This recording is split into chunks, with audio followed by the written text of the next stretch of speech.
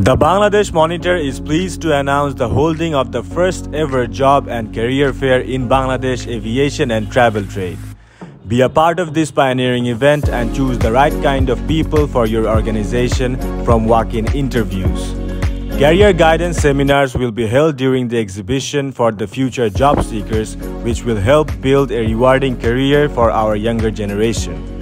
For further information, please contact